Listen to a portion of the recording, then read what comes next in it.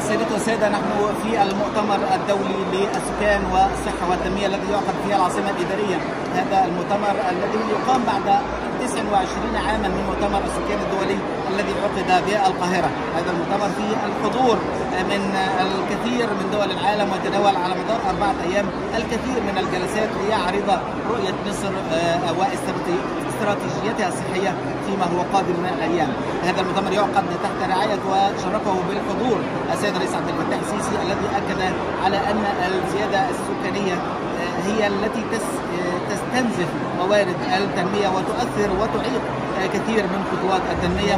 لذا يجب أن يكون لدينا استراتيجية واضحة قابلة للتطبيق فيما يخص الصحة وفيما يخص السكان المصري المجلس القومي للسكان